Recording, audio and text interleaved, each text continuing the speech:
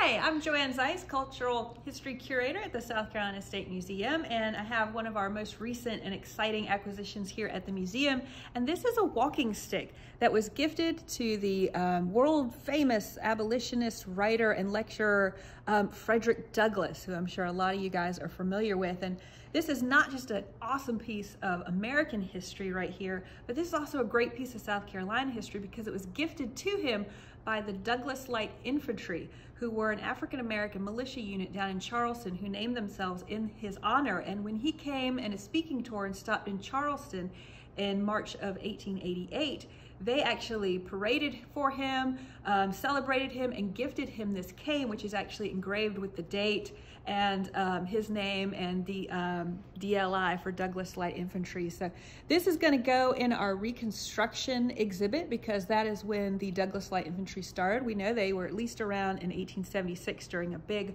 4th of July celebration. Charleston were around at least until the 1890s. So we have more to find out about them, um, but this will be on display really soon and we're super excited about it. If you have any questions about it, contact the museum.